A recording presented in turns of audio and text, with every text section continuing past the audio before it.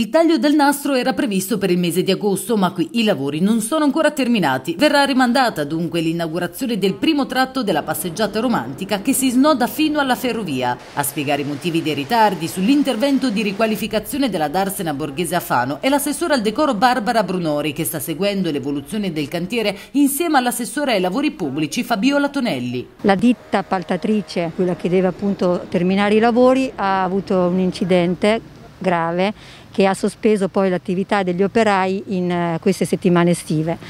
Questo naturalmente rallenta la consegna di lavori che arrivata a questo punto mi trattengo nel dare un fine, una scadenza perché non, non, sono in grado. Da lunedì si riattiveranno comunque per terminare la seconda parte perché la prima come vedete è stata conclusa, nel senso che le ditte interessate a questo lavoro erano tre la ditta appaltatrice che è Antonacci, che è quella che doveva curare tutte quelle che sono le strutture architettoniche, le pavimentazioni, la posa in opera delle panchine, degli arredi e quindi tutta la parte architettonica. E la ditta del verde che la prima parte l'ha rinverdita tutta, la prima scarpata è già pronta con i cespugli, come vedete già anche qui è stato steso del prato eh, pronto proprio per eh, favorire una crescita veloce e come dire un'inaugurazione anche conseguente. Dalla ditta che si occupa del verde, ha precisato l'assessore, manca solo la posa in opera dei cespugli nella seconda parte della scarpata. Prima si deve fare la posa in opera delle sedute, quindi delle panchine di queste grandi panchine in marmo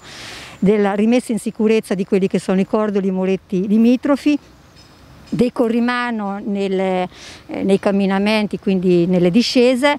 e poi siamo pronti. Bisognerà attendere però ancora qualche mese per vedere terminato il progetto firmato dall'architetto Remigio Bursi. Ci aspettiamo di riconsegnarvela al meglio perché la, la terza ditta che è invece quella dell'illuminazione ci ha consegnato tutto in forte anticipo, tra l'altro un'illuminazione suggestiva che proprio quest'estate in una delle prove notturne abbiamo avuto il piacere di testare con i turisti che tutti affacciati alla balconata con stupore erano a bocca aperta perché davvero sarà un'opera bella, suggestiva e importante per la città.